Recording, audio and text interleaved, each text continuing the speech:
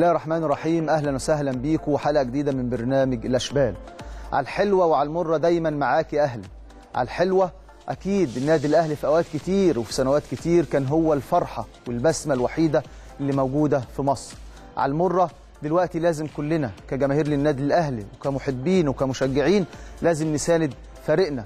علشان نعدي خلال الفترة اللي جاية. أكيد في شهر يناير هيتم تدعيم بشكل كبير جدا وإن شاء الله الفريق يبدأ يعود للمسار الصحيح. لكن عندنا فترة مهمة جدا شهر 12 عندنا ست مباريات مهمين جدا. محتاجين دعم كل الناس محتاجين الناس كلها تساند فرقتها. لازم كل لعيب يعرف علشان نخرج من المحنة اللي إحنا فيها لازم تبدأ بنفسك لازم تقاتل في الملعب لازم كل مباراة تبحث فيها عن الفوز لازم كل لعيب يبقى عنده ثقة في نفسه. وببساطة التاريخ بيقول الأهلي يمرض ولا يموت. من أول يوم اتحطت سياسة لقطاع الناشئين بالنادي الأهلي إزاي يبقى عندك قطاع ناشئين قوي؟ إزاي تستعين بلعيبة وقت المحنة؟ إزاي تستعين بمدربين؟ إزاي تستعين بأجهزة طبية؟ ده اللي اتبنى من أول يوم. الحمد لله خلال الفترة اللي فاتت تم تدعيم قطاع الناشئين بمدربين على مستوى عالي. أنا مش عايز أقول أسماء لكن عندنا أسماء كتير زي الكابتن عادل عبد الرحمن في أحمد سراج في عادل مصطفى في يعني نجو في إينو في شريف الفضيل بدأت تستعين بلعيبة. إزاي تصنعها لل... لل... للحاضر؟ دعمت بلعيبة مميزة عشان تبدأ تحطها في قطاع الناشئين. دي كانت البداية. أنا واحد من الناس خط تجربة كانت في سنة 2004 و2003 كان في محنة في النادي الأهلي. لما النادي الأهلي حب يستعين بقطاع الناشئين لقى عنده قطاع ناشئين قوي. ده اللي بيتعمل دلوقتي. ده اللي ظهر في تصعيد الكابتن عادل مصطفى المدير الفني لمواليد 2003 خلال الأيام اللي فاتت. وعلى فكرة عادل مصطفى من اللعيبة اللي كانت مميزة وإن شاء الله هيكون ليه تاريخ كبير في التدريب. الناس نادت خلال الفترة اللي فاتت إن إحنا يتم تصعيد لعيبة من 97 مع الكابتن عادل عبد الرحمن. أكيد 97 فيها لعيبة مميزة وفيها لعيبة أبرزناها خلال الفترة اللي فاتت إنها تكون موجودة في الفريق الأول. لكن التوقيت مهم علشان أطلع ناشئ صغير يكون موجود في الفريق الأول التوقيت مهم عشان أكسبه لسنين قدام. ما ينفعش إن أنا أحطه في وقت صعب ممكن أحرقه. دي نقطة مهمة جدا. لكن أنا بطمن كل جماهير النادي الأهلي إن إحنا عندنا قطاع ناشئين قوي. في مدربين حراس مرمى على أعلى مستوى في مدربين على أعلى مستوى في لاعبين على أعلى مستوى في أجهزة طب طبية وإداريين على أعلى مستوى. نروح نشوف دلوقتي تقرير مع الكابتن عادل مصطفى بعد فوز الأهلي على طلائع الجيش في المباراة الأخيرة 2-1 نرجع لحضراتكم مرة ثانية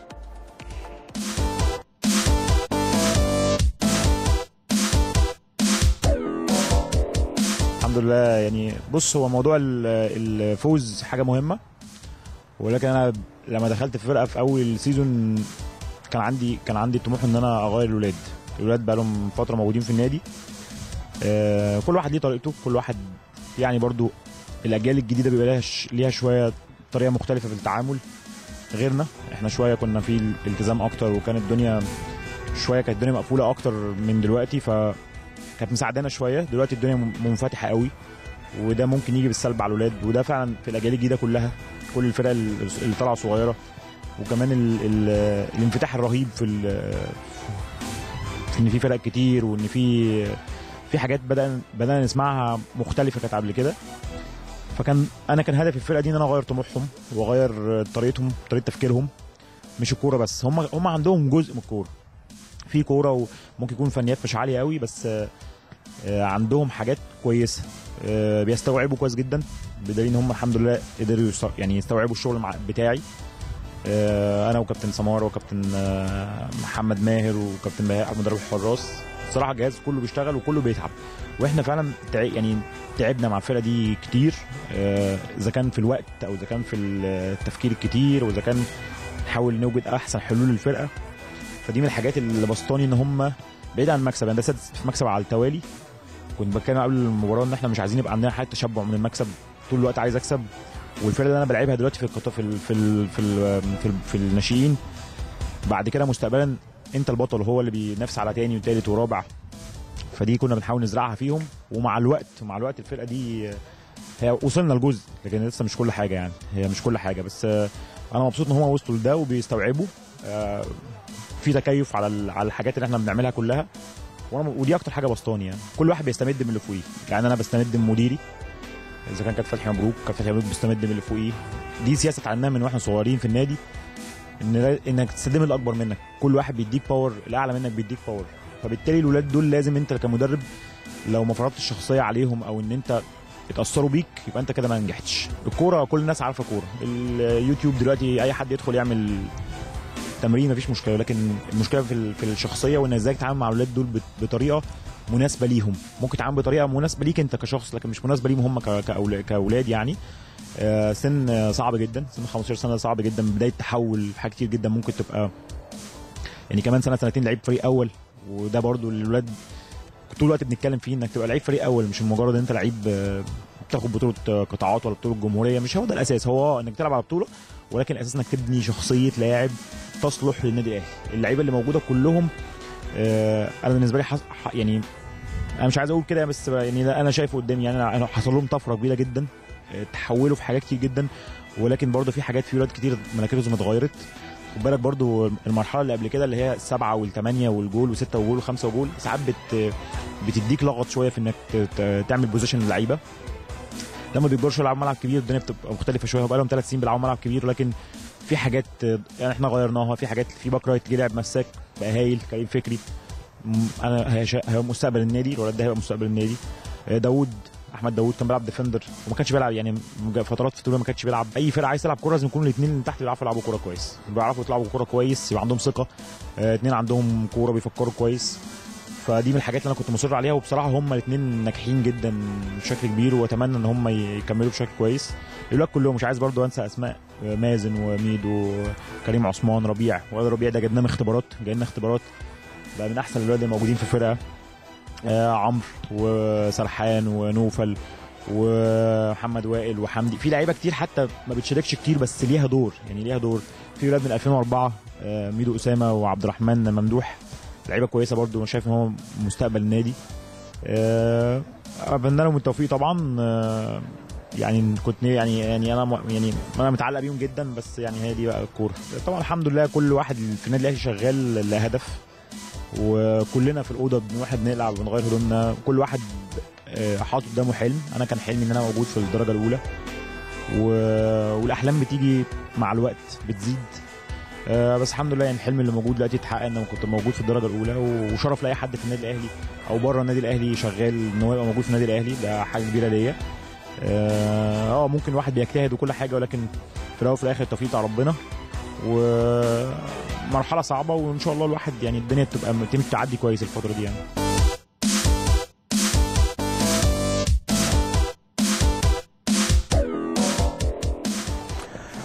مع تصعيد الكابتن عادل مصطفى للفريق الأول نتمنى له إن شاء الله التوفيق. استقر الكابتن فتحي مبروك على إن يكون محمد سمارة المدرب العام اللي كان موجود معاه إن هو يكون المدير الفني للفريق 2003 اتمنى إن شاء الله محمد سمارة التوفيق خلال الفترة اللي جاية. في كل حلقة بنتكلم عن آه ناس عظماء جدا ساهموا في اكتشاف نجوم ومواهب داخل النادي الأهلي. نجمنا النهارده لعب في جيل العظماء كابتن صالح سليم الكابتن طارق سليم آه كابتن رفعت الفناجيلي أنور سلامة آه مراني الكنفاني مع جيل عظماء في تاريخ كرة القدم في النادي الأهلي. ساهم في اكتشاف مواهب ونجوم كبيرة زي حسام حسن وإبراهيم حسن وهاني رمزي في جيل التس- التسعينات. ساهم في اكتشاف نجوم زي حسن مصطفى زي أحمد فوزي زي أحمد سراج زي هشام حنفي زي سيد عبد الحفيظ. أكيد نجمنا النهارده الكابتن إبراهيم عبد الصمد. نشوف تقرير عن الكابتن إبراهيم عبد الصمد نرجع لحضراتكم مرة ثانية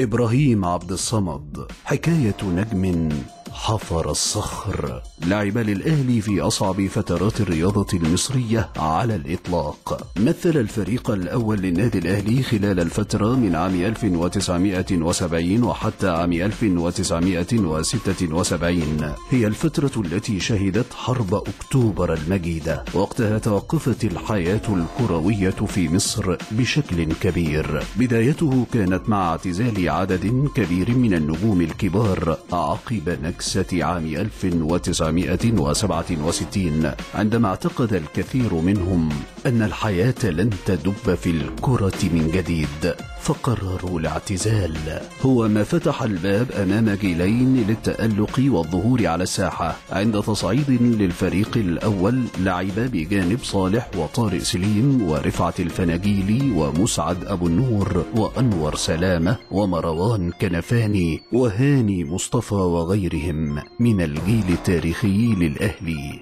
وبعد النكسة وعقب اعتزال مجموعة من الكبار لعب إلى جانب الجيل الجديد حسن حمدي إكرام شحات فتحي مبروك. مصطفى يونس وبقية اللاعبين. تعلم من المايسترو صالح سليم فن الإدارة والتدريب واتخاذ القرارات الصائبة والجريئة. تخرج من تحت يد الكابتن إبراهيم عبد الصمد العديد من المواهب. منهم حسن مصطفى أحمد فوزي أحمد سراج محمد فاروق.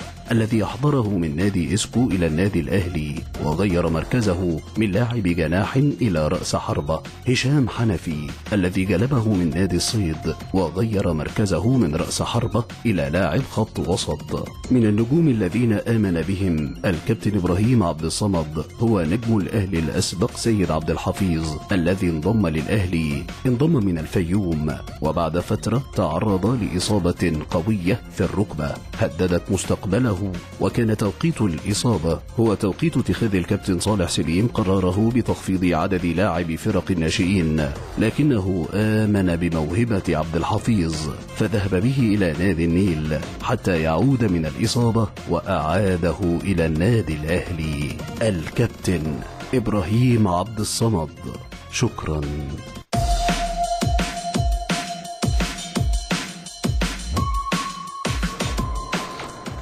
أكيد اسم كبير داخل النادي الأهلي الكابتن إبراهيم عبد الصمد ساهم في اكتشاف نجوم ومواهب كبيرة على مر آه، التاريخ والعصور. آه، نروح لفاصل وبعد الفاصل مستمرين مع حضراتكم.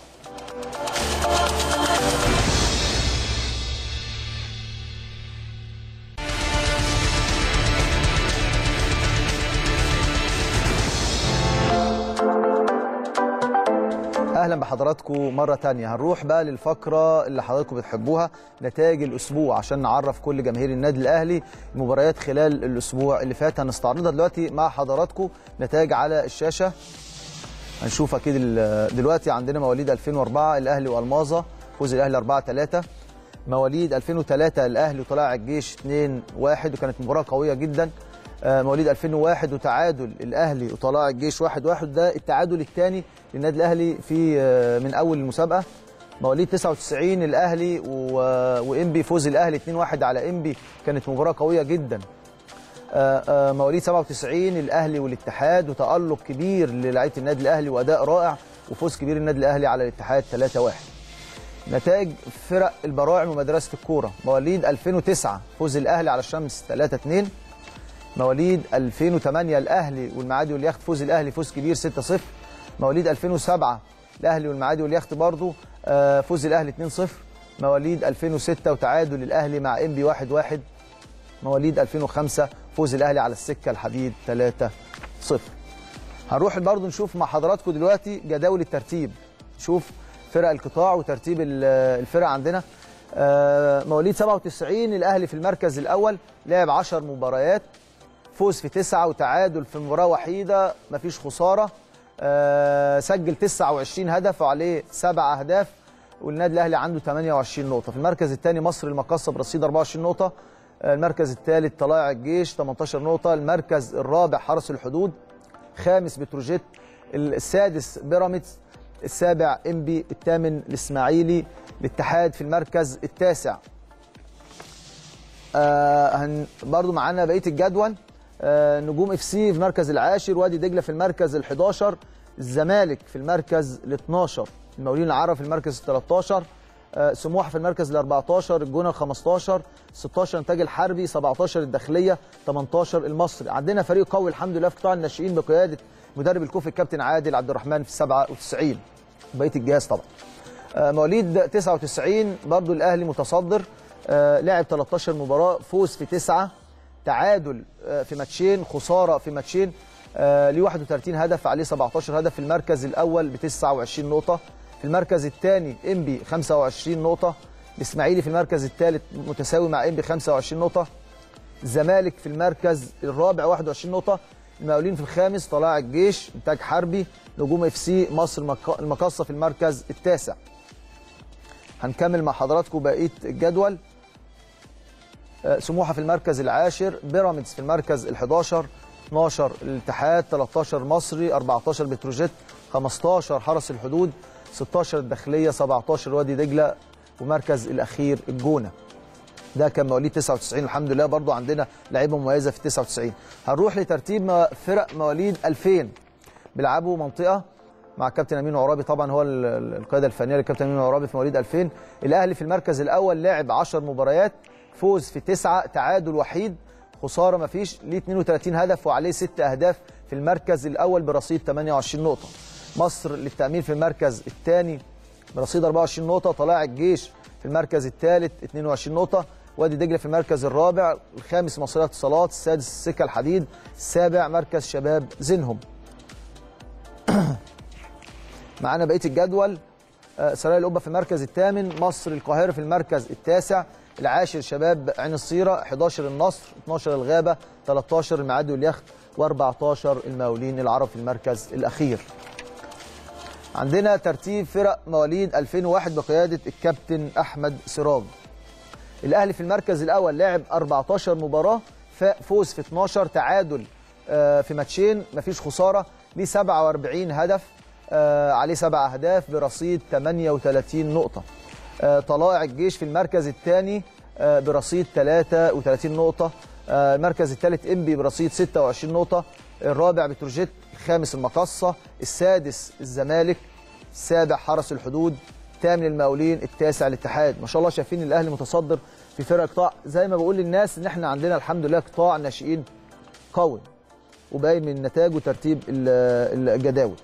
العاشر برضو مستمعين مع حضراتكم في 2001 العاشر إنتاج الحربي. ال11 نجوم FC 12 المصري 13 سموحة مركز 14 الاسماعيلي 15 وادي دجلة 16 بيراميدز 17 الداخلية 18 الجونة في المركز الأخير. ترتيب بطولة منطقة القاهرة مواليد 2002 الأهلي لعب ست مباريات فوز في ستة. مفيش تعادل مفيش خسارة. 59 هدف عليه هدف واحد أقوى خط هجوم وأقوى خط دفاع برصيد 18 نقطة. المركز الثاني مصر التأمين آه، برصيد 15 نقطة آه، شبان المسلمين 10 نقاط آه، قتة في مركز الرابع 8 نقاط مركز شباب الساحل آه، السادس عرب غنيم السابع تشكى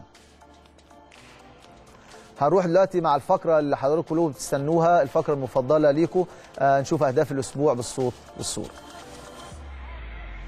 لعب الطويلة عمرو أسامة. عامل تحركات وعامل إزعاج عامل إزعاج لدفاع النادي الأهلي عمرو أسامة عدى عدى عمرو عمرو أسامة عمرو العرضية أرضية. تصويبة عدت مرة جول. جول جول جول. جوه جول هدف أول لفريق الطلائع الجيش عن طريق اللاعب شيكا. أحمد نبيل. اتلعبت وطلعت ضربة الراس. جول. جول جول جول. جوه جول. هدف التعادل للنادي الأهلي. هاني عمرو هاني عمرو يضع هدف قاتل هدف قاتل للنادي الأهلي. فارس لربيع مرة تانية. ربيع على يمينه. يحط الكرة لكريم كريم أمامية لعبد الرحمن ممدوح. عبد الرحمن لنوفل.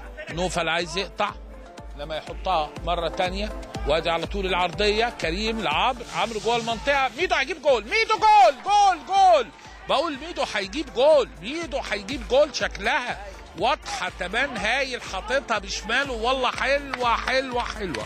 هدف أول للنادي الأهلي بعد 37 دقيقة. ميدو نبيل بيسجل اول اهداف المباراه إنما عاجبني قوي كفاح اللاعبين مع بداية الشوط الثاني بدأوا من خلال المحاضرة اللي بتتقال سواء قبل المباراة أو بين الشوطين يتعاقبوا جول جول جول. كورة مفاجأة كورة مباغتة. ياخدها اللاعب محمد منصور. مرة تانية لمحمد سامح إنما ضاغط محمد ربيع. ربيع قطع الكرة منه. ربيع بيدور يلعب في مين؟ ميدو. ميدو جاله من الشمال. ميدو ميدو عدل نفسه ميدو. ميدو عدل وبيدور يلعب لمين؟ ميدو يلعب كورته لكريم. كريم والتسديده الله الله الله الله لا والله ملعوبة. شكلها جميل يا ولد. هدف كده زي اللي بنشوفهم في الفرق العالمية. والله هدف. كل الفرقة رايحة لعادل مصطفى. إنما الله عليك يا كريم يا عثمان.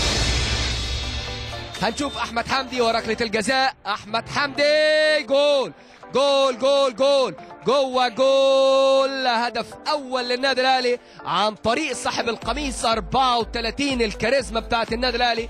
أحمد حمدي يضع هدف أول للنادي الأهلي. مصطفى يرجع مرة ثانية لعمار حمدي. عمار التمريرة مع ياسر ريان. هنا الدكتور علاء متولي بيقول لي كابتن عادل عبد الرحمن أيضا لاعب النادي الأهلي ونجم النادي الأهلي لعب في نادي الاتحاد اضغط مرة تانية. زي ما قلنا تلاقي لعيبة ونجوم كتير ارتدت قميص الفريقين. اتلعبت من كريم جول!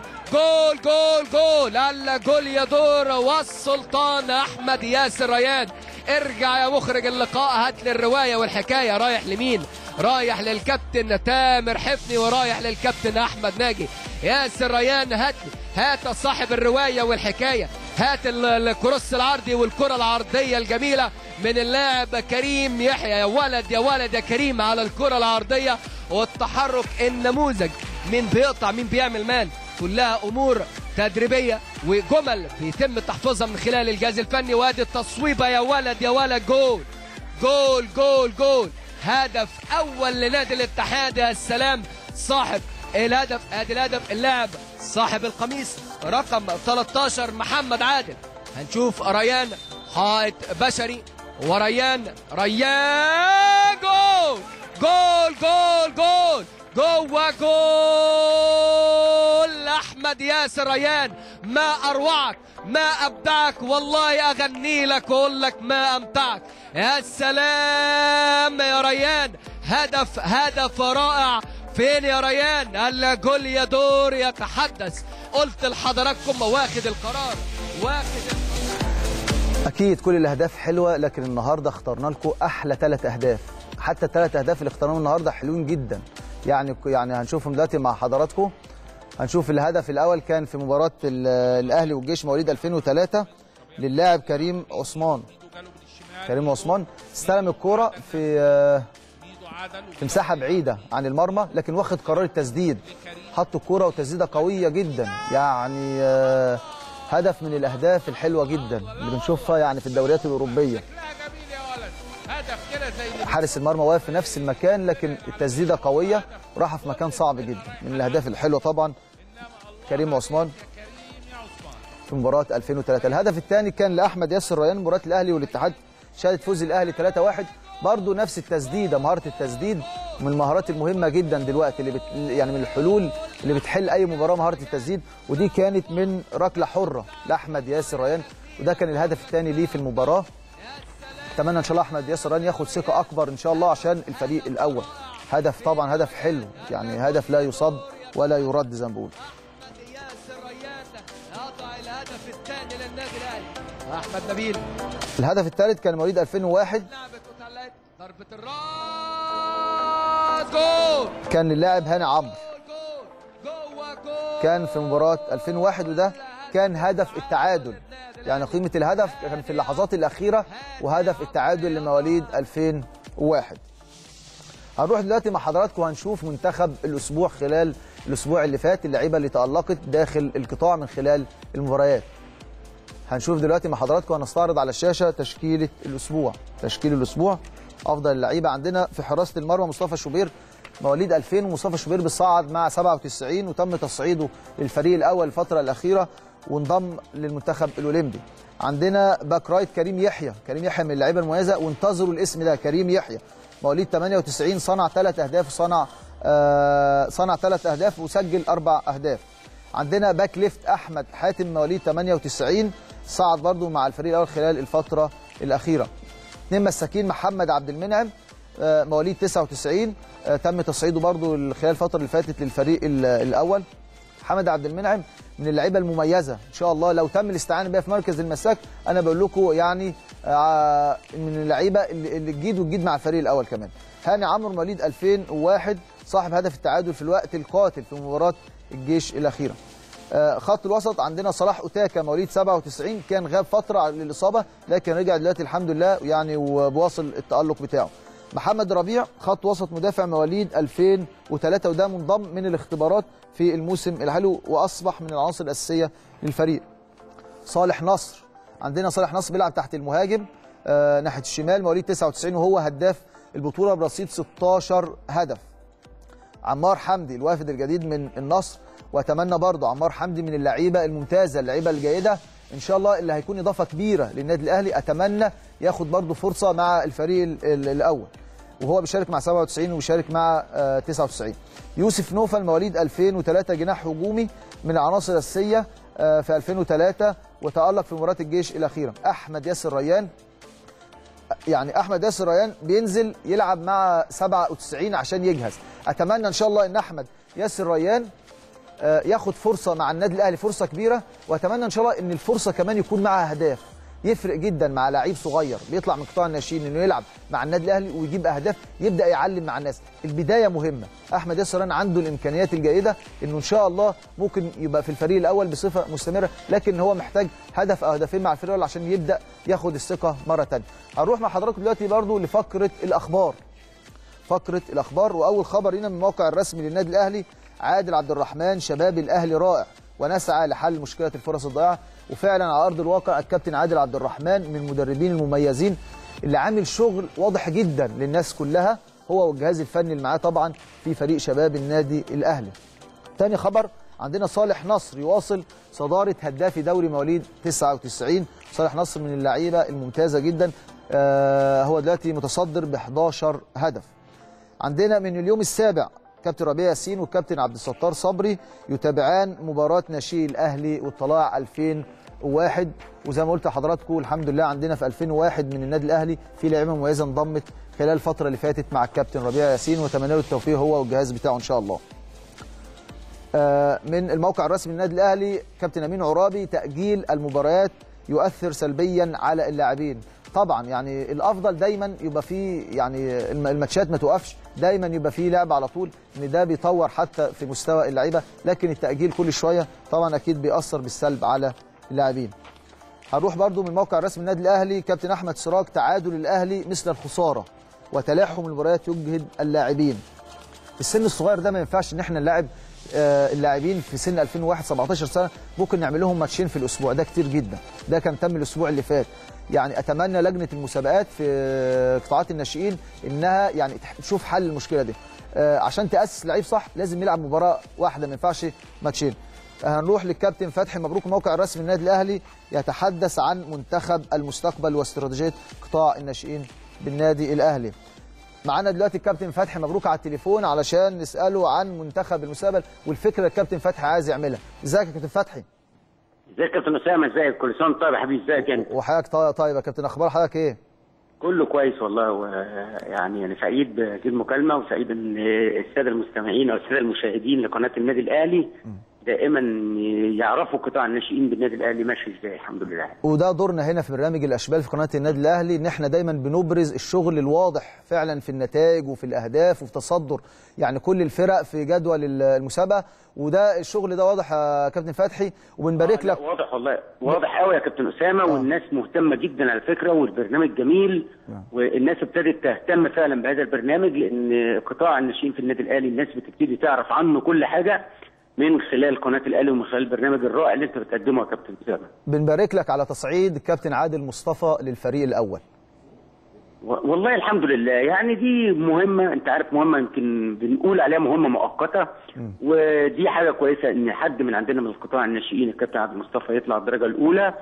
آه أنا بتمنى بتمنى من كل قلبي إن دائما اللعيبة والأجهزة الفنية يبقى عندها طموح وعندها دائما رؤية للمستقبل إن هو ممكن يبقى من أحد أفراد الجهاز الفني للفريق الأول تمام. اللعيبة نفس الشيء دايما بكلمهم إن أنت طالما لعيبه نادي أهلي لازم يبقى عندك الطموح إن أنت تلعب فريق أول يعني. تمام أنت كابتن فتحي حضرتك خضت التجربه الصعبه مع النادي الأهلي في سنة 2003 وكنت موجود في فريق شباب النادي الأهلي وتم تصعيدك للفريق الأول في وقت صعب وكون حضرتك موجود في قطاع الناشئين وملم بكل ما بيحدث في قطاع الناشئين وقتها تم تصعيد لعيبة تم تصعيد مدربين. هو نفس الظروف اللي إحنا بنتكلم فيها. مجلس الإدارة بيبني قطاع الناشئين قوي مع كابتن فتحي مبروك علشان وقت ما يتم الاستعانة بأي فرد سواء آه، جهاز طبي سواء مدرب سواء لاعبين يبقوا دايما عند حسن الظن. والله إحنا هدفنا يعني كان هدفنا زي ما قلت لك يا كابتن أسامة من زمان إن إحنا هدفنا لينا أهداف وا- واضحة قوي. الهدف الأول طبعا تصعيد تصعيد لعيبة للفريق الأول إن شاء الله. الحاجة الثانية إذا احتاج الفريق الأول لأي حد من الأجهزة الفنية في قطاع الناشئين تمام. فأنا برحب جدا جدا لأن ده بيبقى حاجة كويسة للمدير الفني وحاجة كويسة لقطاع الدرجة الأولى وقطاع الناشئين. تمام. كلمنا بقى عن فكرة منتخب المستقبل. والله بص يا كابتن والله أنا جيت يعني فكرت في الفكرة دي ويمكن مش عايز أقول لك يمكن الكابتن محمود الخطيب على فكرة برضو يمكن اتكلمنا في هذا الموضوع وقلت إن أنا بفكر فعلا إن إحنا نبرز فعلا يبقى في فريق للمستقبل في النادي الأهلي. والفريق ده يمكن من خلال برضو رؤيتي الفنية ومن خلال تعاملي مع المديرين الفنيين ومن خلال أيضا التقييم والمتابعة إن إحنا فعلا مرشحين لعيبة لعيبة في حراسة المرمى وفي مركز والاستوبرات وكل مركز على الأقل فيه ثلاثة اربعه لعيبة. من من مواليد تمام. 99 لحد عندي يمكن ل 2002 تمام. و2003 يعني المرحلة السنية اللي هي مش تبعي أو مش ان أنا مش حاطط استراتيجية ليها ل 2004 2004 بس كل الفرق كل الفرق عندي من مركز اثنين ثلاثة كل لا كل مركز فيه حوالي ثلاثة أربعة تمام. لاعب فأنا فكرت فكرت في الفكرة دي على أساس إن إحنا إن شاء الله مستقبلا آه. مستقبلا آه يبقى اللعيبة دي تحت منظار دائما إن إحنا شايفينهم كويس قوي تقييمهم في كل المباريات تقييمهم أيضا في عدد المباريات اللي بيشتركوا فيها ومستواهم الفني عشان نقدم تقرير آخر السنة ان عندنا إن شاء الله فرقة مستقبلا تبقى ممكن اضافه عناصر للفريق الأول إن شاء الله مستقبلا. لا أكيد فكرة ممتازة كابتن فتحي ونتمنى لك إن شاء الله التوفيق خلال الفترة الجاية. بنشكر الكابتن فتحي مبروك مدير قطاع الناشئين بالنادي الأهلي. شكرا جزيلا لك كابتن فتحي. هنروح برضو معانا على التليفون العقيد محمد مهدي مدير قطاع الناشئين بنادي طلائع الجيش. كابتن محمد مهدي. مساء الخير يا كابتن أسامة. مساء النور ازي حضرتك؟ أخبار حضرتك إيه؟ الحمد لله وكل سنة وأنت طيب وانتهز الفرصة والشعب المصري كله بخير وكل سنة وأنت طيب بمناسبة المولد النبوي ودايما كده النادي الأهلي في في خير كده وإن شاء الله يعني ربنا ي- يعني يوفق إن شاء الله النادي الأهلي. إن شاء الله بنبارك لك. طبعا عامل ما شاء الله قطاع ناشئين لطلائع الجيش قوي جدا. مش السنة دي ده لا ده من كذا سنة فاتت. ما شاء الله في لعيبة مميزة في طلائع الجيش حتى بيتم الاستعانة بها في الفريق الأول. الحمد لله والله ده كان نتاج خطة الحمد لله. أول ما مسكت القطاع الحمد لله ربنا أكرمنا. وبدأت عملت خطة لمدة خمس سنين تمام. بحيث إن هي إن شاء الله السنة دي بأمر الله على آخر السنة يعني تبني ثمارها. والحمد لله يعني الحمد لله الخطة مشيت طبقا للي إحنا عاملينه. طبعا بدعم السيد رئيس مجلس الإدارة ومجلس إدارة نادي طلائع الجيش. الحمد لله الخطة أثمرت وبقى عندنا الحمد لله في جميع الفرق آه، مستويات فنية. إن شاء الله نأمل إن هي تكون دعم للفريق الأول بإذن الله في نادي طلائع الجيش. آه، كلمنا بقى عن ال- المدربين داخل القطاع خاصة إن أنا يعني آه، عارف في مدربين زي الكابتن حسن كفتة ماسك 99 في في مدربين مميزين كمان زائد لعيبة داخل قطاع الناشئين بطلائع الجيش يا أستاذ العقيد والله الحمد لله إحنا برضو خلال الخطة دي كنا ب... بن... كل سنة بيبقى لنا طموح معين. ال- المدربين اللي بتبقى ماشية معانا في هذا الاتجاه بنبقى عليها والمدربين اللي ما بيقدرش يتواصل معانا عشان المستوى اللي إحنا طالبينه ب... بنستغنى عنه. لكن الحمد لله إحنا عندنا مجموعة الحمد لله تعتبر دلوقتي تعتبر تدريبيا أبناء نادي طلائع الجيش الحمد لله. وإن كان فيهم حتى ناس من النادي الأهلي وكده بس بدأوا خبراتهم التدريبية عندنا الحمد لله وبقوا مجموعة كويسة جدا. آه. عندنا مثال الكابتن أحمد عبد العزيز ماسك ال 97 آه. حاجة محترمة جدا. ده ابن النادي أصلا وكان بيلعب كان كابتن نادي طلائع الجيش. آه. وفي الكابتن حسن كفتة ماسك ال 99 تمام. وفي الكابتن زياد النادي الأهلي برضه ماسك ال 2000 وفي تمام. الكابتن آه، آه، ياسر علي ماسك فرقه 2001 تمام. النادي الأهلي. لأن طبعا برضه يعني بيعجبني طريقة النادي الأهلي بالنسبة للكورة في مصر يعتبر هو من الأندية الفريدة اللي هي عندها الثبات الانفعالي تمام. خلال المباراة وعندها يعني حسن الفنيات بالنسبة للعيبة وبالنسبة للأداء والكلام تمام. فأنا بتعمد إن يكون عندي مدربين حتى من النادي الأهلي عشان يدونا الخبرة دي ويبقوا عندنا نفس يعني نطلع بنفس طريقة النادي الأهلي كده تمام حتى حتى سيد العقيد يعني ضميت انت محمد جودة دلوقتي كان تم تصعيده الفريق الأول حتى الكابتن أحمد سامي اللي بدأ اسمه يبرز في عالم التدريب في الدوري الممتاز كانت بدايته في قطاع الناشئين بطلائع الجيش برضه آه أحمد سامي مسك فترة كبيرة جدا آه. آه. فريق ال 97 وال... وكان من قبلها الفريق اللي تحت الفريق الأول على طول هو اللي كان ماسكه تمام. برضه اتصعد مع الفريق الأول وكانت دي برضه اداته التواجد في الدوري الممتاز والحمد لله برضه يعتبر إضافة لل- للمدربين في مصر حاليا أحمد سامي نتمنى لك إن شاء الله التوفيق يا سيادة العقيد. خلال الفترة الجايه بنشكر العقيد محمد مهدي مدير قطاع الناشئين بطلائع الجيش. شكرا جزيلا لك. هنروح دلوقتي بقى للكابتن فوزي سكوتي رئيس لجنة القطاعات باتحاد الكورة. إزيك يا كابتن فوزي؟ حبيبي يا أسامة جميل. عامل إيه؟ أخبار حضرتك إيه؟ متألق دايما يا أسامة وببارك لك على البرنامج الجميل ده الصراحة يعني. ربنا يخليك. يعني أنا الكابتن فوزي مرني وأنا عندي 15 سنة مع الكابتن شطة وطلع لعيبة كتير للفريق الأول بالنادي الأهلي.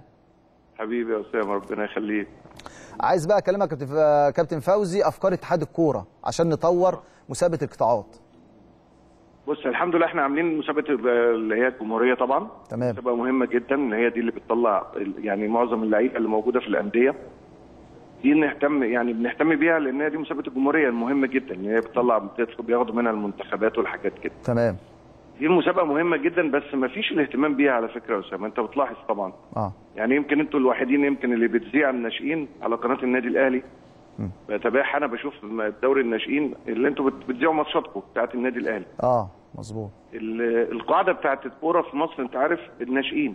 آه. الاهتمام كله بالفرق الكبيرة أو المنتخب فقط لا غير الدوري الممتاز أو المنتخب. ما هو ده دورنا يا كابتن فوزي بدأناه هنا من قناة الأهلي برنامج الأشبال إن إحنا دايما نسلط الضوء على كل ال- الفرق. يعني إحنا بدأناها بقطاع الناشئين بالنادي الأهلي لكن دلوقتي بدأنا نتوسع. هناخد إن شاء الله كل قطاعات الناشئين الموجودة في مصر. جميل. ده دي جميل. يعني يعني دي أحسن فكرة لأن هتساعد برضو. يعني الناس تتفرج والناس بتتابع واللي بيشوف اللعيبة. وممكن عن طريق إذاعة الماتشات دي اللعيبة تظهر. تمام. أنا عايز أشوف مثلا لعيبة بدل ما عين المدرب يعني مثلا ربيع ياسين بيقعد يلف مثلا على على مستوى الجمهورية عشان يدور على لعيبه تمام. لما بتذاع الماتشات دي ويتابع على ال على ال على التلفزيون وبيقعد يتابعها وممكن يسجلها ويشوفها كذا مرة بيتابع اللعيب. يقول تمام لك آه اللعيب ده جيبه. ده الفكرة إحنا واخدينها برضو اللي إحنا عايزين نعملها في في على مستوى القطاعات. تمام. انت عارف دوري القطاعات يا اسامه ال- المناطق ضعيفة. آه. في فرق ضعيفة يعني خاصة مثلا النادي الأهلي بيلعب مراكز الشباب والحاجات زي كده وبيكسب 12 و13 تمام المدرب يقول لك أنا اللعيب بتاعي ما بيستفدش يعني المسابقة ضعيفة وعايز أستفيد على قد يعني فعايز يبقى الدوري قوي. فإحنا عم- بنعمل دوري القطاعات دي اللي إحنا مقسمين القاهرة يعني مقسمين على المستوى الجمهورية ثمان قطاعات. القاهرة الكبرى وشرق الدلتا وغرب الدلتا ووسط الدلتا والقناة شمال الصعيد وسط الصعيد وجنوب الصعيد تمام. ثمان قطاعات. بنعمل مثلا القاهرة الكبرى بنقول مثلا القاهرة والجيزة والقليوبية. فيها حوالي 58 فريق. آه. القاهرة مثلا. بنيجي نقول هناخد منهم مثلا كل أول مجموعة هم مثلا أربع مجاميع ولا حاجة ممكن ناخد أول وتاني. على أساس الفرق بتاعت القاهرة بتبقى فرق كلها مميزة وقوية. بنيجي مثلا الجيزة ناخد منها مثلا ثلاث فرق. نيجي مثلا القليوبية ناخد منها فرقتين. مم. الدهلية الشرقية دمياط اسكندرية البحيرة مطروح. كل دول بيلعبوا بعض بقى. بيلعبوا بعض على حسب الجهة بتاعتهم لأن صعب قوي تجمع كله. عشان المصاريف والناشئين آه. انه يسافروا. تمام. عشان نعملها على مستوى فإحنا عملناها ثمان قطاعات آه. عشان يبقى يلعبوا بعض. غرب الدلتا تلعب بعض اسكندرية البحيره مطروح يبقوا قريبين لبعض. تمام. ما يقدرش يعمل زي الدوري الممتاز صعب. ما يقدروش. يصرفوا على الفرق الجمهورية والقطاعات. ده كلام مهم جدا يا كابتن فوزي. كان معايا الكابتن محمد حشيش المدير التنفيذي لمنطقة القاهرة. كان عندنا مشكلة إن دوري القطاعات ل 2002 في النادي الأهلي يعني هم خلصوا في شهر 10 واحتمال يبدأوا في شهر واحد أو شهر اثنين يعني هيبقى في فترة ثلاث شهور توقف كبيرة جدا. كتير كتير طبعا. آه. آه. ممكن يبقى لكم دور إن إحنا ممكن نبتدي القطاعات بدري شوية؟ يعني إحنا كنا قعدنا مع الكابتن مجدي عبد الغني والكابتن أحمد مجاهد وقعدنا وكنا بنتكلم. إن تمام إحنا كنا عايزين نبدأ في شهر 12 تمام. لأن فعلا زي ما أنت قلت كده في ناس خلصت. آه. لقينا إن معظم ال- ال- ال- المناطق مم. على مستوى الجمهورية هيخلصوا في في في لسه ال- الدور الأول وهيبدأوا الدور الثاني آه لسه, لسه ما. خلصتش. فإحنا بنقترح بقى طبعا ولسه إحنا بنقول الاقتراحات بتاعتنا وبعد كده بتدخل المجلس بناخد بيها موافقة. طيب. ان إحنا إن نهاية الدور الأولاني ناخد الفرقة المت... اللي هي المتقدمة دي. آه. أول الدوري أو ثاني الدوري كده أو ثالث الدوري الثلاث فرق الاولانيين أقوياء. آه. يلعبوا ابتدوا بقى يلعبوا القطاعات. آه. يحسوا بالمسابقة جامد جدا. تمام. فكرة كم- كمان هنعملها إن شاء الله هنعمل اللي هو منتخب ال- القطاعات منتخب القطاعات. تمام.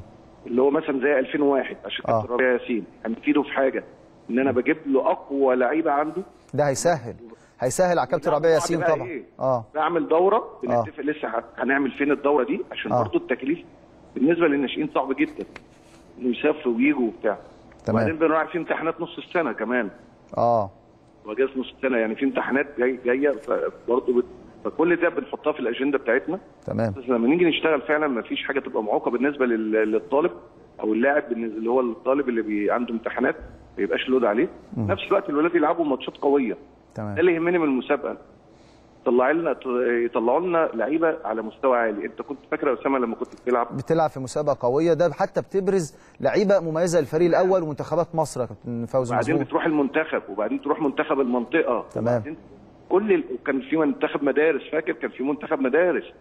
تمام. منتخب الجامعات الحاجات دي كلها كانت بتطلع لعيبة أكيد. قوية جدا. فنتمنى إن إحنا المسابقة بتاعت القطاعات دي لأن معظم المديرين الفنيين بتوع الأندية بيكلمونا يا جماعة عايزين دوري القطاعات لأن المسابقات عندنا ضعيفة جدا. يعني تخيل مثلا ممكن منطقة من المناطق في, في على مستوى ال- الجمهورية يبقى عندهم خمس فرق آه. يلعبوا دوري. بيلعب خمس ماتش يعني يلعبوا مثلا دوري تسع ماتشات أول ودور حاجة. تاني وبعدين آه. يلعب تاني هو هو ما عندوش لعيبة. آه. ما عندوش فرق. أكيد إن شاء الله هنتكلم مع حضرتك باستفاضة كابتن فوزي. يعني في كل بقى شكل المسابقات وهتكون معانا في حلقه إن شاء الله كابتن فوزي سكوتي رئيس لجنة قطاعات اتحاد الكرة. شكرا جزيلا لك. هنروح دلوقتي نشوف تقرير مع لاعبي فريق 2003 ونرجع لحضراتكم مرة ثانية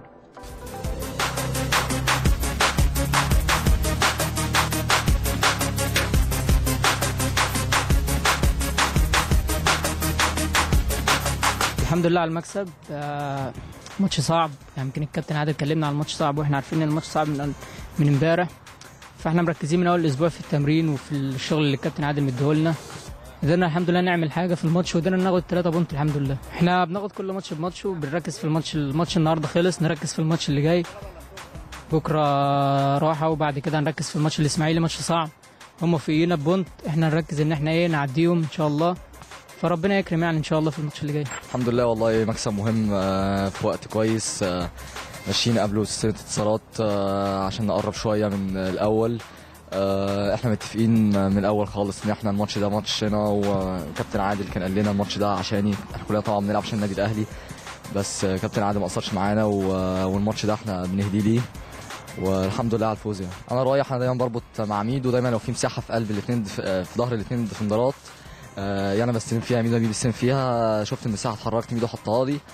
آه، مجرد إن أنا بس آه، سندتها كان الجول مفتوح حطيتها والحمد لله يعني آه، راحت آه، زي ما أنا عايز. الحمد لله الماتش كان مهم وإحنا كان لازم نكسبه عشان الجيش تحتينا بنقطة. إحنا كسبناه الحمد لله ودلوقتي بقى فرق أربع نقط. عندنا الماتش الجاي الإسماعيلي آه، فوقينا بنقطة برضو والمفروض آه، نكسبه. عشان نعديهم إن شاء الله نطلع تالت والبطولة إن شاء الله. ماتش الإسماعيلي آه، ماتش مهم والأرض بتاعتهم مش كويسة فلازم نبقى رجالة يعني في الملعب وكده. ماتش الزمالك آه، لازم نكسبه عشان الأهلي والزمالك يعني القمة بتاعت الدوري. الحمد لله يعني لازم نكسبه إن شاء الله.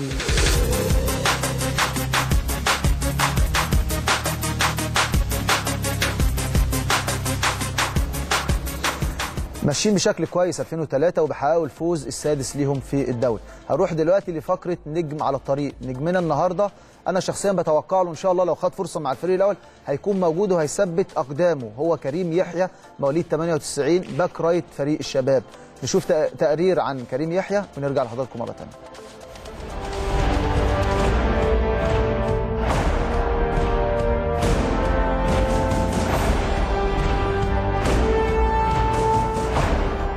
بسم الله الرحمن الرحيم. أنا كريم يحيى.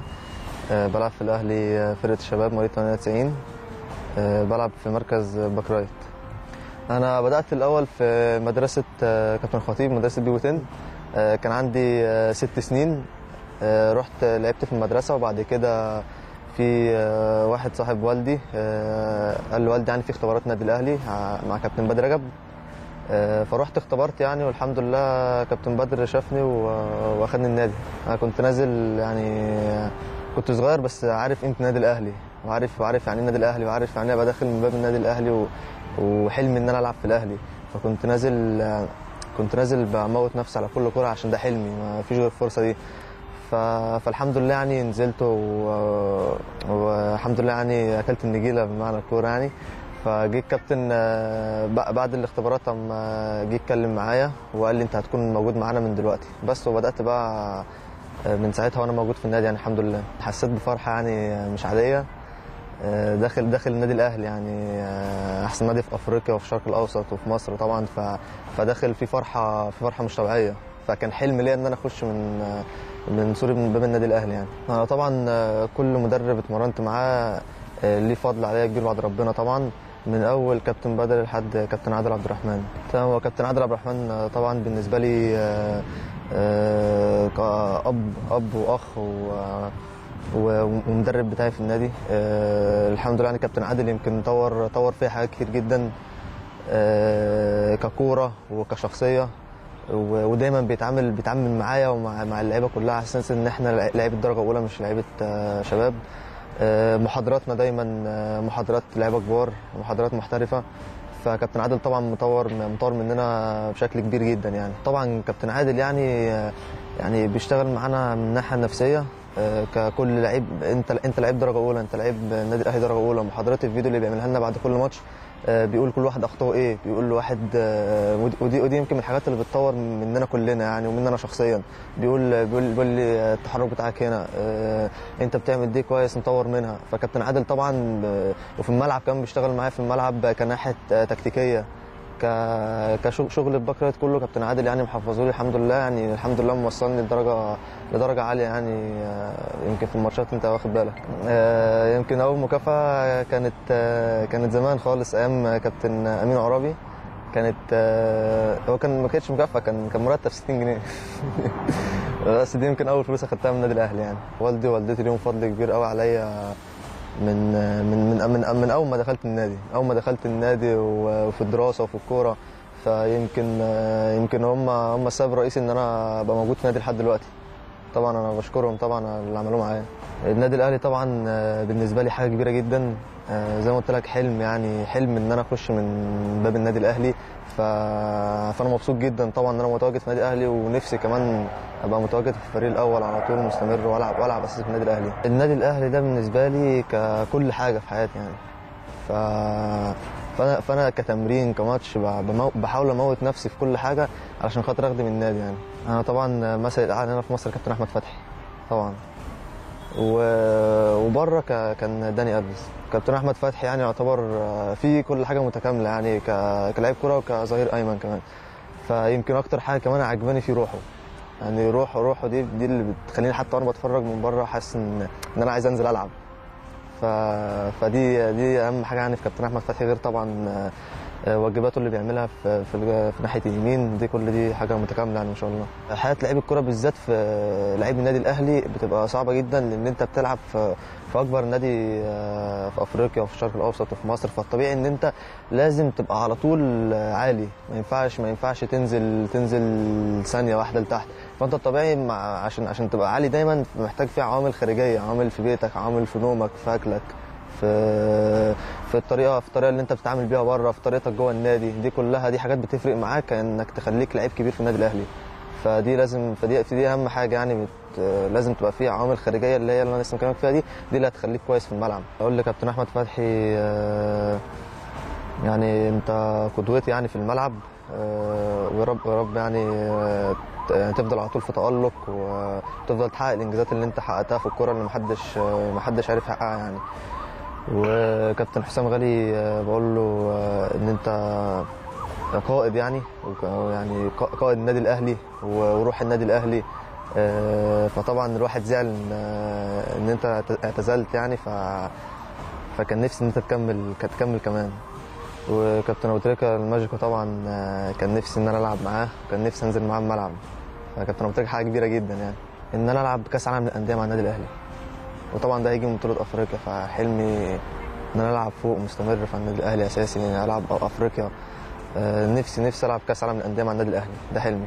طبعا آه، أشكر والدي ووالدتي طبعا على دورهم معايا آه، إن هم يعني فضلوا فضلوا مساندني في أصعب الظروف إن هم يخلونا متواجد في النادي الأهلي. وطبعا بشكرهم من من خلال قناة النادي الأهلي يعني والنادي الأهلي. أول طبعا لكابتن عادل عبد الرحمن أنت طورت في كريم حاجات كتير جدا. ولسه هتطور يعني أكتر ف فحضرتك ليك فضل كبير قوي عليا كجوه الملعب وخارج الملعب يعني كنصائح. اللي بيميز لعيب النادي الأهلي آه، إن أنت النادي الأهلي على طول لازم تبقى كسبان لازم يبقى روحك عالية آه، لازم تبقى على طول في فورمة عالية ما, ما ينفعش تبقى زي لعيب أي نادي تاني. النادي الأهلي حاجة تانية خالص آه، عن الأندية اللي موجودة في مصر كلها فالطبيعي إن أنت لازم تبقى تبقى على طول عالي. انتظر كريم إن شاء الله. آه، يعني بإذن الله احاول أموت نفسي و آه، عشان أخدم النادي الأهلي. و وأنا مستني الفرصة إن شاء الله. وأوعدكم إن أنتوا هتشوفوا يعني كريم في مستوى عالي. وإن شاء الله نفرح النادي الأهلي على طول.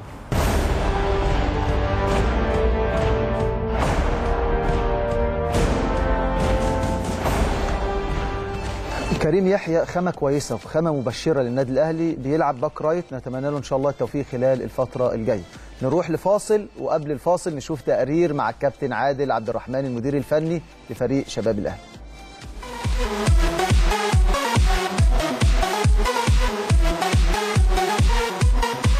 اللعيبة النهارده أدوا أداء كويس. أنا مش ببص على ال ال النتيجة قد ما ببص على أدائهم لأن إحنا محتاجينهم. الفترة الجاية فترة لعيبة النادي الأهلي. الفترة الجاية فترة اللعيبة اللي آه، اللي اتربت في النادي الأهلي اللي عرفت آه، معنى النادي الأهلي قوة النادي الأهلي.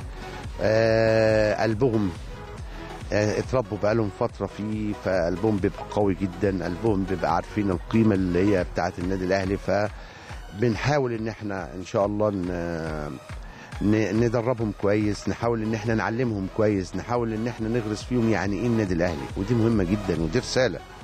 إن إحنا إزاي اللعيب اللي بيلعب في النادي الأهلي نعرفه إزاي فلنته إزاي جمهوره. هو ده اللي هي مهمة عندي قوي ودي اللي أنا دايس فيها كويس وشغال عليها. بس إن شاء الله تكمل ويكمل إن اللعيبة تبقى متواجدة. ومش المهم نطلع لعيبة بس للفريق الأول المهم إن إحنا نطلعهم وننجحهم في الفريق الأول لأن دي نقطة مهمة مهمة للغاية.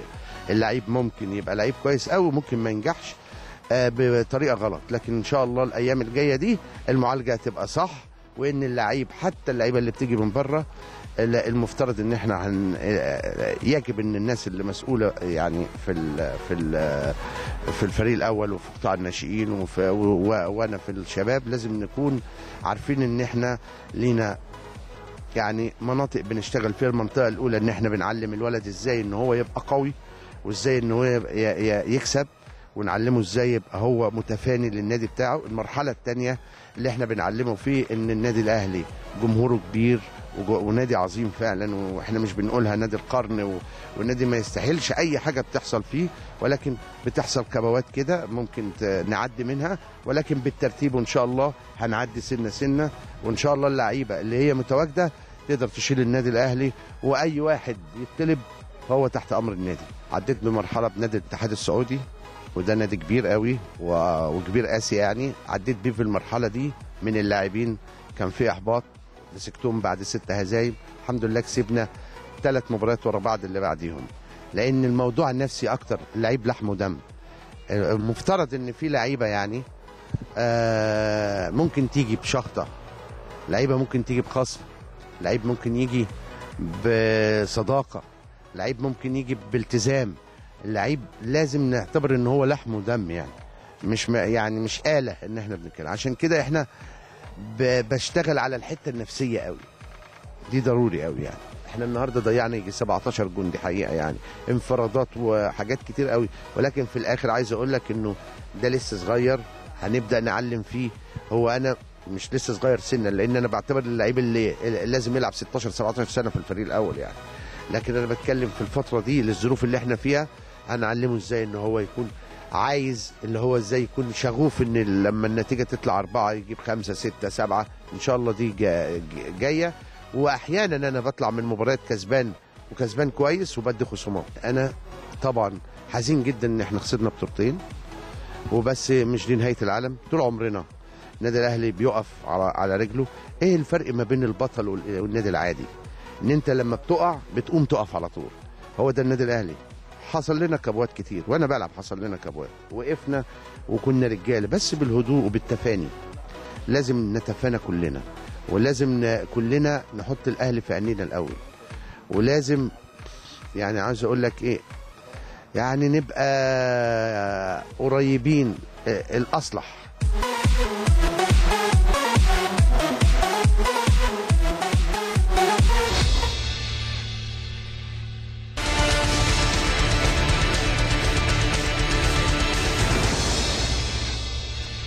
معانا النهارده حبيبي كابتن شريف عبد الفضيل المدرب العام لفريق 2007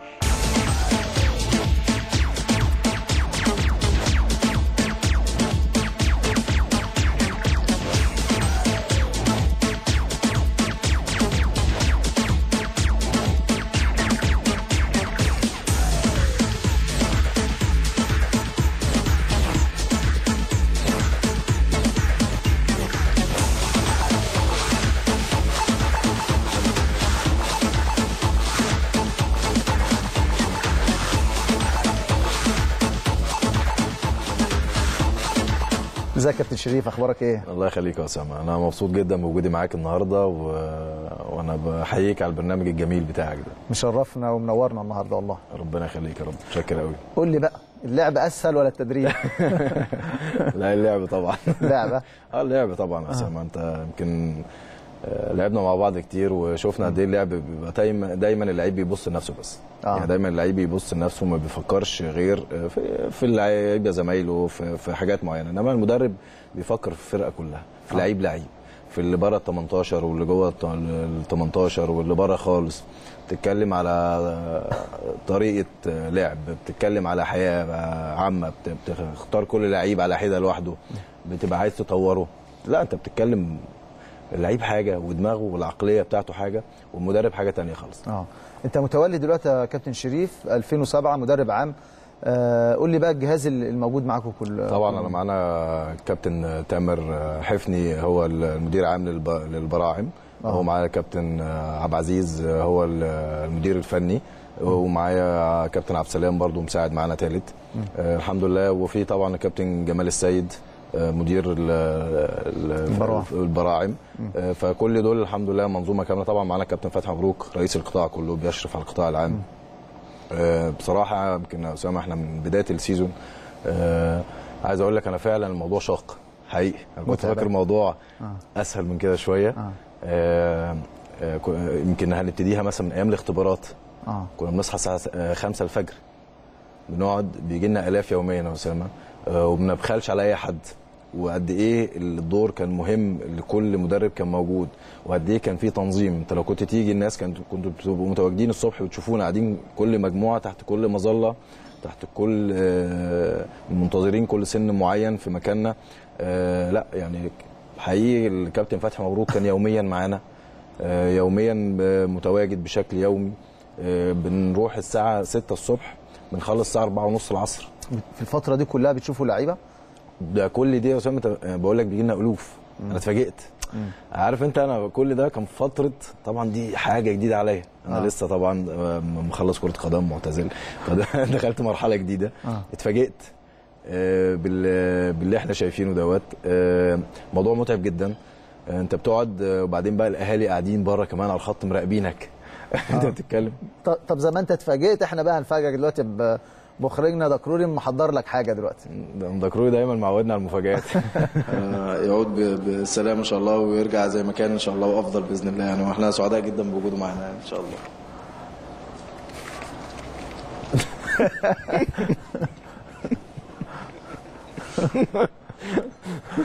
مش لاقي غير دي يا دكروري هو ما ردش ليه وقتها؟ لا بركات. لا أكيد مش عاجبه الكلام. لا بركات. أنت عارف محمد بركات طبعا. آه. حد جميل وكان كان سيد. هما الاثنين كانوا الدويتو المعروف سيد معوض ومحمد بركات. آه، بركات من الناس اللي كانت قريبة ليا جدا في الفترة دي. و آه، ودايما كان أنت عارف طبعا بيحب يهزر ودايما افهاته كتيرة الموجودة. بركات كان معودنا عليها يعني. آه, آه. وإحنا بنتكلم عن فترة الاختبارات. كنت بتروح من الساعة 6 الصبح وبتمشوا الساعة 4 فترة كبيرة إنك بت- بتتفرجوا على لعيبة وبيتم انتقاء لعيبة في كل الأعمار السنية. حضرت بقى فترة انكم نزلتوا المحافظات ولا ما يعني ما كنتش رحت المحافظات؟ لا؟ طبعا أنا ما كانش مسموح لي إن أنا أروح المحافظات لأن دي بتبقى اللي بتتطلب نوعية معينة من المدربين وكانت دي كانت توزيع من الكابتن فتحي مبروك آه. آه. طبعا هو اللي قايم بيها. آه. آه كان موزعنا بشكل كويس جدا فطبعا أنا كنت بعيد عن الموضوع ده. آه. آه فأنا كنت متواجد في الاختبارات اللي هي متواجدة هنا في في نادي أهلي مدينة نصر. تمام. آه والحمد لله كنت يمكن حوالي 15 يوم 14 يوم بالظبط. آه. تقريبا جبت- جيتهم كلهم يعني. كويس. الاختبارات بقى. أفرزت لعيبة كويسة. يعني تم انتقالها للنادي الأهلي؟ آه طبعا. يا بص يا اسامه الحمد لله. يمكن أنا فريقي فيه آه، داخل على ال 60 لعيب. ما شاء الله. عارف يعني إيه 60 لعيب؟ 60 لعيب. طيب أنا يبقى ده معناه إيه؟ إن إحنا في النادي ومش أنا لوحدي. جميع الفرق بتلاقي الأعداد فوق ال- ال- العدد الطبيعي اللي أنت تاخده. آه. ليه بقى؟ لما بتلاقي عندك موهبة. مم. فأنا حرام أمشي مو- واحد موهوب. طب أنا ليه؟ ما أنا ممكن أجيبه آه. واديله فرصة تانية وثالثه وبيجي لي اختبار مرة واثنين وثلاثة وده موجود معايا. آه. مضيع عقود متواجد معايا بشكل رسمي. تمام.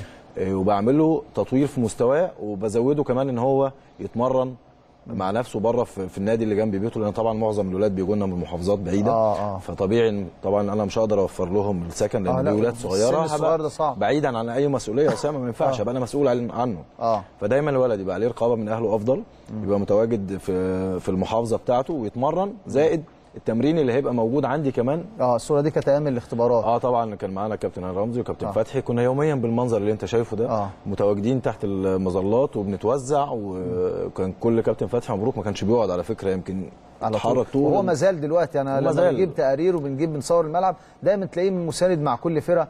في السفر دايما بتلاقيه ورا كل فرقة حتى في السويس في اسكندرية في كل ده مكان. حقيقي كابتن فتحي انت عارفه دايما آه، نشيط وبيحب آه. التنس قوي زي ما انت عارف. فهو ما شاء الله عليه ربنا يديله الصحة يعني ما- يعني الناس بنحتذي بيه لأن هو من الشخصيات الجميلة يعني. تمام. آه، فيمكن هي الفترة دي كلها كانت آه، يعني آه، فترة ال- الاختبارات دي تمام. كانت يعني أنا فرقتي فيها ما يقارب 60 لعيب. ما أنا أنا أنا في حتة 60 عشان الناس بس ما تفتكر عايز كبير. لها. أنا يعني هشرحها ببساطة كده وأسيبك طبعا تستفيد فيها. دايما عشان يبقى عندك قطاع ناشئين قوي لازم تبقى القاعدة قوية القاعدة هي مدرسة الكورة والبراعم حط فيهم أعداد كبيرة وسجلهم عندك وبعد كده بيبدأ الهرم يعني الدنيا بت- بتقل بعد كده في. فرق ال ال- في الأعمار الفرق- السنية الأكبر. بيبتدي. العدد يقل لأن أنت آه. خلاص بتبتدي أصلا سنك يكبر فهتبتدي تشوف مستقبلك يا إما لو مش هتقدر تستمر آه. بتروح مكان تاني تستمر فيه. تمام. إحنا عندنا الأعداد ال- الكبيرة العدد برضه لازم نفسر للناس النقطة دي. إحنا متاح عندنا إن أنا أسجل لعيب كل شهر. آه أول أسبوع في كل شهر. القطاع عندي في البراعم عندنا آه، متاح عندي في التسجيل إن أنا أقدر أسجل لعيب كل شهر. كويس. آه، فده بيديني أريحية أكتر فأنا مش هقدر أسجل مثلا أكتر من اثنين لعيبة كل شهر. أنا مش آه. هقدر أضخ لعيبة كتير. اللعيب المميز زي ما بقول لك بنقربه للفرقة يبتدي يتمرن معانا بيتطور. طبعا لعيب النادي الأهلي حاجة. اللعيب بيجي لي اختبار بيبقى حاجة تانية خالص. تمام. خلاص؟ فعشان يخش معانا ويندمج مع اللعيبة اللي موجودة ويصل لفورمة ماتشات فورمة لياقة اللعيب يبقى عنده القدرة إنه يتواصل مع اللعيبة اللي موجودة تمام. بياخد وقت. فأنا بوفر له ده وبقدر أساعده على ده. آه، التعامل مع اللعيب أصلا ده ده حاجة تانية خالص. في السن الصغير ده اللي هو 11 سنة 12 سنة ده قصة تانية خالص يا اسامه آه، محتاج ما أنا ده ده هاجي لها آه بقى طبعاً. عشان المعايشة اللي أنت عملتها. آه طبعا. ويعني الاستفادة اللي استفدتها عشان تقدر تتعامل مع ولد صغير لسه 8 سنين و9 سنين و10 سنين دي طبعا مش مش مهمة سهلة مهمة صعبة. طبعا. آه جدا عايز أكلمك عن آه معانا المعايشة دلوقتي يا كابتن شريف وأنت كنت في هولندا عملت معايشة في أياكس وايندهوفن صح؟ اند هوفن الهولندي رحت اند هوفن الأول طبعا. آه آه. الناس هناك كل حاجة بنظام أسامة كل حاجة بترتيب. تمام. أنت طبعا كنت موجود في ألمانيا قبل فترة. آه. بايرن ميونخ.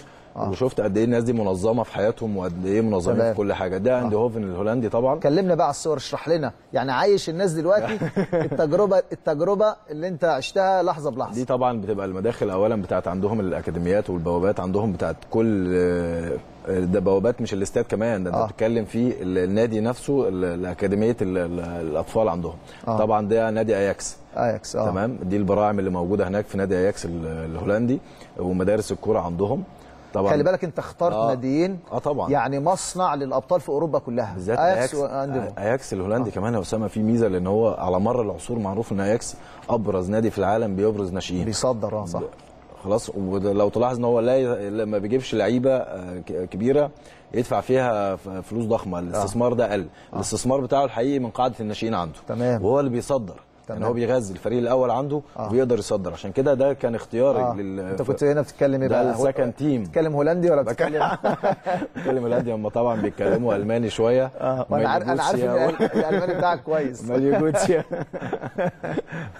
طبعا عندنا شوية المان صغننين كده اتعاملنا بيهم. لا طبعا بنتكلم اتكلمنا إنجليزي معاهم. الألمان مريحين شوية غير ال- الهولنديين مريحين غير الألمان الألمان. شوية. تمام. الهولنديين آه، يقدروا يتكلموا انجلش معاك. الألمان لا ما يرضاش يتكلم ده الصورة دي متحف في قطاع الناشئين؟ ده طبعا لا ده متحف فريق أكس الفريق الأول. آه. دي طبعا الكاسات اللي هم حصلوا عليها وخدوها. آه. خلاص أنا طبعا من شوية كنت موجود في الملاعب اللي هي اللي تحت طبعا ملاعب ال- الأكاديميات عندهم والبراعم والناشئين والقطاعات. تمام. وعشت معاهم وشفت إزاي بي- بيتك... المدرب ال coaching بيقدر يتكلم معاهم. طبعا فرق آه، عندهم إمكانيات مهولة. آه، موارد بشرية الحياة الطبيعية اللي موجوده هناك بتأهلهم لده. تمام. عندهم كل الوسائل الراحة عندهم موجودة. المناخ بتاعهم جميل جدا. آه، طريقة التعامل نفسها. آه. آه، مع الولاد. إزاي أقدر اتعامل مع الولاد؟ طبعا ده كان آه، في matching شغال. آه. آه، وده مجموعة من اللعيبة اللي كانت موجودة طبعا. ال second team بتاع فريق اياكس نفسه. تمام. بس أنا. بحييك على التجربة دي يا شريف إنك تب يعني تب- تبتدي انك وانت ماشي في مشوارك التدريبي انك عايز تنمي أو يبقى عندك خبرات كبيرة من خلال المعايشات دي بص اسامه أنا آه. ده طبعا ده نادي أياكس طبعا ده PSV اند هوفن الهولندي آه. آه، أنا طبعا حتة بص اسامه أنا طالما دخلت في, في, في ال career وكمان ده ال career بتاعي تمام خلاص أنا دلوقتي دخلت مرحلة جديدة في حياتي مرحلة التدريب آه. خلاص الحمد لله أنا ببدأ خطواتي ببداها صح تمام. لازم تتعلم وهفضل طول عمري اتعلم. أنا بدأت أتعلم مش هروح بقى مثلا أنا عايز أمسك فريق أول ولا عايز أمسك هنا يبقى أنا كده بضحك على نفسي يبقى أنا. مش هتعلم حاجة. لازم من لازم لما تيجي تتطور أو تطور من نفسك لازم تطور من نفسك أنت الأول تمام. في تعليم كل حاجة بالذات في مجال شغلك. يعني دايما أنا بحب لما حد يجي يناقشني في في, في حاجة أنا ما أعرفهاش ما بحبش أتكلم فيها. يبقى أنا لما هاجي اتكلم في الكورة يبقى أجي أتكلم صح. تمام. يبقى أنا بدأت الحمد لله المرحله الصح إن أنا أبدأ تطوير من نفسي الأول واتعلم. لغاية أسامة لما هتكبر فينا الحياة دي كلها تقعد إحنا تتعلم. بنتعلم وتجارب فيها فده كان أهم حاجة عندي إن أنا إن شاء الله أبدأ المرحلة دي صح وإن شاء الله الفترات الجاية يبقى عندي إن شاء الله هنظم حاجة إن شاء الله في فرنسا وحاجة في أسبانيا بإذن كويس. الله إن شاء الله معايشات اللي اللي جاية بإذن الله و وإن شاء الله في مراحل تطوير أكتر من كده بإذن الله. وكمان هفيد القطاع عندي في النادي الأهلي. كان أنا. الحمد لله بعد ما رجعت كمان اتكلمت مع الكابتن تامر حفني مدير عندي البراعم مع آه. الكابتن زيزو واتناقشت معاهم في بعض الأمور في الحاجات التدريبية في الشكل العام في التنظيم بتاع اللعيبة إزاي أغذي اللعيبة بفكر جديد وحديث إزاي أقرب من اللعيبة اخليه يحبني الأول عشان يقدر يديني. تمام. اللعيب الكورة مهم جدا المدير الفني لازم يفهم ده. مش لازم اعنفه تمام. إمتى اعنف وامتى ابقى لين معاه. صح. الكوره دي لازم لعيب الكوره ده نفسية. لما ابتدي افهم لعيب ال- ال- الصغير ده من السن ده يعني إيه نفسية؟ واحببه أصلا في الكورة ان هي مش موضوع ان انت اجيبك ساعتين امرنك وتمشي وخلاص. صح. كرة القدم مش كده يا أسامة. الحمد لله عندنا في النادي الأهلي آه، بيقدروا إزاي؟ آه، مش أنا بس كل المدربين الموجودين بقياده طبعا كابتن فتحي وكابتن جمال السيد وكابتن تامر حفني آه، بيزرعوا إزاي؟ جوه المدربين الموجودين. إزاي تتعامل مع اللعيبة بشكل كويس إزاي نمرة واحد. اما تيجي تتعامل مع لعيب بتعم- بتعامله ان انت جوه النادي الأهلي. آه. حب النادي الأهلي. دي نمرة واحد. بتزرع فيه الحاجات إن دي انت النادي. البطل. إن انت أي فرقة بتلعبها انت بي- بيبص لك على إنك النادي الأهلي. تمام. انت مش في انت في اكبر نادي في افريقيا. فده نمره واحد في المقام الأول. نمرة اثنين بقى وسائل التعليم وسائل التطوير وسائل التعاملة. آه إزاي اطور من نفسي في الملعب؟ إزاي اطور من ادائي أنا كلعيب آه وظيفتي إيه في الملعب؟ آه آه، المهام بتاعتي جوه المستطيل الاخضر إيه؟ آه أنا مثلا بلعب إحنا عندنا بنلعب مرحله لسه 8 ضد 8 مم. خلاص آه، ما تيجي النواحي النواحي ال- الأمور التكتيكية في الملعب مختلفة شوية عن المراحل الاكبر. تمام. خلاص يبقى أنا مش مش بدوروش دلوقتي قوي على النواحي التكتيكية قد ما بطور منه هو على النواحي الفنية بتاعته. تمام. إن هو إزاي يتطور إزاي يطور من من مستواه الشخصي إزاي يطور من التطوير عنده من النواحي الدفاعية والهجومية. تمام. المهارات عنده القوة الجسمانية عنده إزاي يطور من القوة الجسمانية بتاعته. ده شيء مهم جدا. وخلي بالك الرسالة بتاعتك هتوصل للولد الصغير خاصة أنت لسه معتزل. يعني اسم الشيف فضيل اسم كبير وحتى ممكن الولد تكون شافتك.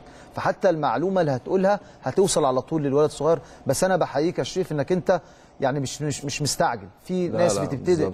في التدريب بتبقى مستعجلة بسرعة. لكن انت أنا يعني يعني بحييك إنك انت عايز تتعلم عايز تبدأ صح وتبدأ خطوات يعني تدريجيا هناك التوفيق. عايز بقى أكلمك عن علاقتكم مع الكابتن تامر حفني كابتن جمال السيد. لا آه، كابتن جمال يمكن أنا في بداية كلامي قلت لك كابتن فتحي مبروك كابتن جمال كابتن تامر. آه. الثلاثه دول بصراحة آه،. بان ده من بداية الاختبارات. قد إيه الناس دي بتتعب معانا؟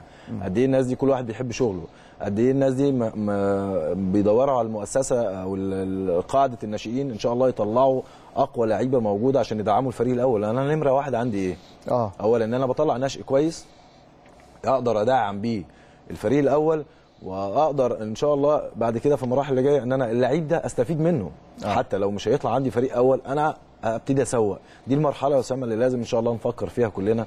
إزاي. أسوق النشء اللي عندي؟ ما أنا خلينا نكون واقعيين. إحنا عندنا الفريق الأول مش هيحتاج أكتر من 3 4 لعيبة كل سنة. لو لقينا 8 لو لعيبة انت كويسين طلعت يا ثلاث أسامة، لعيبة ده يبقى مكسب كبير. بالظبط. لو خ... لو أنا عندي الثمان لعيبة كويسين جدا مم. هيقدر أغذي بيهم فريق أول؟ أقدر. طيب عندي لعيبه أكتر من كده هعمل إيه؟ لازم أبتدي أسوق بقى في اللعيبة دي. آه. الحمد لله ده كله محطوط في بلان عندنا في قاعدة الناشئين إن شاء الله إن أنت تطور. الكابتن جمال السيد وكابتن تامر حفني بيتعبوا معانا جدا.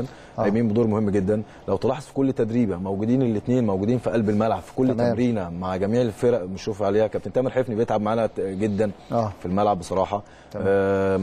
بيجي أول واحد وبيمشي آخر واحد. لأن هو طبعا ملتزم لأن هو بيجي مع الفرقة الأصغر آه. فبيجي بدري شوية مع 2008 وفي موجود مع 2007 وموجود مع 2009 2009 و2010 آه. كمان متواجد معاهم و2011 2011. يعني أنت متخيل آه. آه. فهو متواجد مع كل الناس دي أنا بصراحة بحييه على المستوى الرائع اللي بيقوم بيه لأن هو فعلا بيتعب جدا معانا يعني. عايزين نكلمك بقى على 2007 أنتوا متصدرين في آه طبعا دوري. المهرجانات صح؟ الحمد لله إحنا يمكن إحنا أول مجموعتنا بفرق كبير عن الفرقه اللي ورانا إحنا لسه في دور تاني إن شاء الله بقى هيبقى مجموعات تانية تمام آه بعد فترة التوقف طبعا آه الحمد لله إحنا ماشيين أول آه كل الماتشات كسبناها باستثناء آه عملنا أول ماتش وتاني ماتش تعادل كان مع اتحاد الشرطة كان مع اتحاد الشرطة صح. والجيش مظبوط. تعادلنا أول ماتشين آه. آه. طبعا آه كان لسه الاولاد لسه صغيرين لسه ما كان فهموش اتحاد الشرطة ودجلة اتحاد الشرطة ودجلة تعادلنا. مع الدجلة مظبوط آه. دجلة تاني ماتش واتحاد الشرطة أول, مباراة. أول ماتش. وبعد كده. كسبنا بقى الحمد لله بقية الماتشات كلها. تمام. بنتائج كبيرة. بدأنا بقى نمسك الأولاد نشوف العيوب فين بتاعتهم. لأن طبعا أول ماتش دايما اسامه بيبقى تمام. بتشوف شخصية اللعيب في الملعب اللي قدامك. تمام. اتفاجئت طبعا إن في بعض اللاعبين عندهم خوف شوية. آه بيخافوا من الضغط. يعني ألاقي لعيب مثلا وأنا جنبه على الخط بيخاف. خايف هنا. لما بيروح الناحية الثانية آه. بلاقي مستواه حاجة تانية خالص. آه. دي شخصية لعيب يا أسامة. وأنت محتاج تدرس ده محتاج تفكر أنت كمدرب. صح. أنا أتعامل مع اللعيب ده إزاي بقى؟ هو عنده قدراته عالية جدا. فأجي لما بيلاقيني جنبه على الخط بيخاف.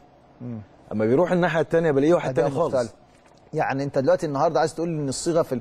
إن أنا أكلم الولاد لازم يبقى تشجيع كله في المراحل السنية الصغيرة دي. تشجيع ما ينفعش إن وتوجيه. أنا أوجه آه، قصدي أنتقد الولد. ده ما ممكن ينفعش تعمل عنده حالة نفسية صعبة في المباراة وتلاقي اداؤه اختلف لكن التشجيع وزي ما انت بتقول ان أنا التوجيه ده مهم جدا. المرحلة ال- ال- السنية دي يا اسامه مهمة جدا مع آه. حاجتين. اولا الناحيه النفسيه مع اللعيب وإن أنا أعلمه. آه. أعلمه. يعني أنا بعد ما أعلمه كويس قوي هأتعامل معاه نفسي بشكل كويس قوي هتفرق مع اللعيب هيديك 100% اللي عنده. كويس. مجرد ما في حب اللعيب هي- هيلعب عشان بيحبك. تمام. فاهم؟ ودي حاجة مهمة جدا. والحمد لله أنا قريب من الاولاد كلهم أنا بعملهم أكني أخوهم الكبير. آه. فالحمد لله أنا بحبهم جدا يعني. خلي بالك هي دي الصعوبة في المراحل السنية الصغيرة المدرسة والبراعم إن أنا إزاي أعامل الولد الصغير ده نفسيا إزاي إزاي أوصل له لتفكيره؟ هي دي نقطة هي دي النقطة المهمة جدا في تدريب ال- البراعم ومدرسة الكورة. بص آه الحمد لله يمكن أنا عندي شايف الكابتن فتحي آه مبروك؟ طبعا. ما بيبطلش زي ما أنت نازل شايف الملعب. ما أنا بقول لك نازل الملعب مع. الولاد كمان. هو كابتن فتحي طبعا مع على طول كده بيشرف على ال- البراعم كلهم وبيمارس اللعبة زي ما أنت شايف وبيحب يبقى متواجد وسط الولاد وبيتكلم مع الأهالي دايما وبيشاورهم يشوف المشاكل إيه. ودايما لأن أنت عارف الأهالي دايما أسامة بيبقى آه. فيه آه، نقد لاذع. أنا في حصل موقف قدامي بالمناسبة آه. ضايقني جدا. إيه؟ وده دايما اللي بعيبه في أولياء الأمور. ده في المهرجانات؟ آه كان عندنا ماتش ودي. آه. آه وإحنا بنلعب. لا ماتش ودي عادي. ماتش ودي. آه فاتفاجئت إن في ولد عندي آه اسمه آه محمد آه، فتحي. آه. خلاص قدام آه بيلعب striker راس حربة. آه. اتفاجئت إن هو بي بيعيط آه. في المباراة الودية. فأنا شايفه الولد وشه لتحت وعمال يعيط بيبكي والله العظيم يا أسامة. آه. فاتضايقت جدا وأنا واقف على الخط فالولد ناديت له عمال يعيط ويروح الناحية الثانية مش عايز يجي. خلصت الشوط رحت جاي مطلعه بره الماتش قلت له تعالى في إيه؟ قال لي بابا هيضربني بعد الماتش. أما أروح هيضربني أنت متخيل؟ لا ما ينفعش اللي حصل بقى إن طبعا الولد بيلعب جنب الجمهور فطبعا أولياء الأمور جنبهم. فطبعا باباه تقريبا زعق له أو عاتبه في حاجة فالولد باباه قال له هروح أضربك في البيت. أنت متخيل؟ آه. فيا جماعة أولياء الأمور أنا يعني يا ريت يسمعوني كلهم وده أنا قلت لهم طلعت على الخط خلي طبعا بالك الانتقاد العنيف ده ممكن يأثر. على الولد أنت متخيل ما يجيبش معاه ايجاب ولد يكلم آه. ابنه بالمنظر ده في الملعب يخليه الولد يعيط بالمنظر ده فطبعا أنا يعني طلعت أدور على ولي الأمر ده كان مشي ساعتها آه. كنت يعني كنت أتضايق منه جدا وهعمل معاه مشكلة طبعا آه. ما ينفعش يتكلم مع ابنه بالمنظر ده آه.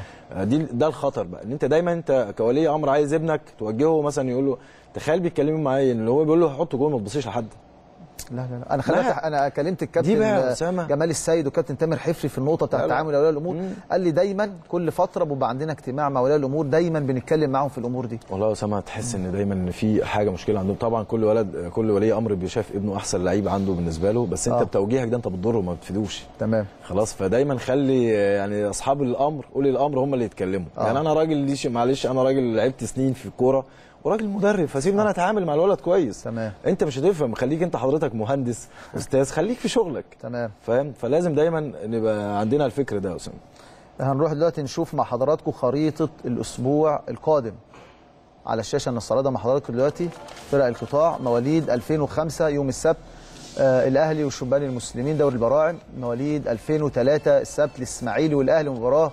من العيار الثقيل بطولة الجمهورية الناشئين مواليد 97 مصر المقصه والأهلي بطولة الجمهورية الشباب مواليد 2000 يوم الاثنين الأهلي وعين الصيره بطولة منطقة القاهرة مواليد 99 يوم الخميس 6 ديسمبر سموحة والأهلي بطولة الجمهورية الشباب في سموحة مواليد 2004 الجمعه الأهلي والنصر بطولة منطقة القاهرة مواليد 2001 الأهلي والمقاولين العرب ومباراة من العيار الثقيل في بطولة الجمهورية للناشئين. كابتن شريف عبد الفضيل نتمنى لك التوفيق إن شاء الله. إن شاء الله خلال الفترة الجاية. شرفتنا ونورتنا. متشكر يا اسامه وأنا سعيد بوجودي معاك وإن شاء الله من نجاح لنجاح. شكرا. الله.